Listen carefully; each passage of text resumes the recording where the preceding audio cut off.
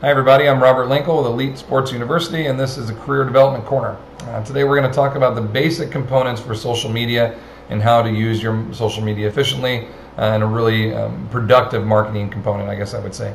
Uh, the first thing you need to know before really diving into social media, which one's best for you and how to use it, is uh, what is your demographic? Who are you trying to reach? And then understanding how you're going to reach those individuals. It's either a direct uh, marketing approach straight to them, or it's going to be an indirect approach to their parents or to the kid directly, or however we're going to do that. So we'll kind of take a look at that a little bit here, and then based off of the demographic that you're pursuing, we can kind of pick the right tools for you to uh, to utilize.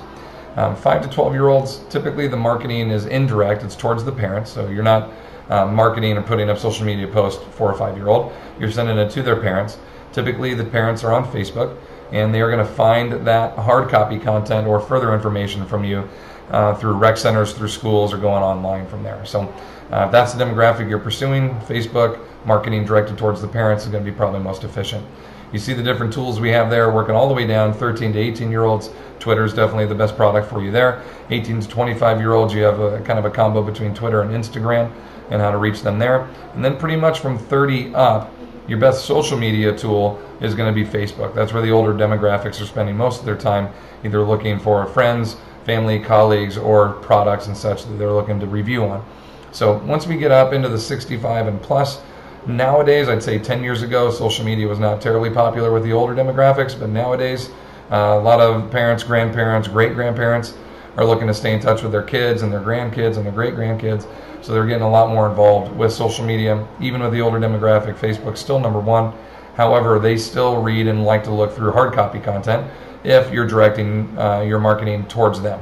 Uh, so newspaper ads, uh, flyers, handouts, they still look through their newspaper. They still look through their mail when they get it in there. They're looking at flyers when they're checking out the grocery stores. Uh, so opportunities like that, uh, I think you'll be able to find a pretty good reach to those individuals. A lot of social medias, uh, I've heard a lot of trainers like you have to have, or coaches, you have to have a social media presence on every single one of these. Uh, I'm a big fan of doing one really, really well and then having directed content on some of the other ones. So at the end here, you'll see I'm on Facebook, I'm on LinkedIn, I'm on Instagram, and that's about it. In my LinkedIn and my Instagram, kind of point everybody to my Facebook page. My demographic is 40 to 60 year olds, so I would prefer people to kind of you know funnel down into my Facebook page where I do a lot of my social media marketing on there. Okay, so once we kind of know what demographic you're looking to pursue, you have a little bit better idea of what tool is going to be most efficient for you to use.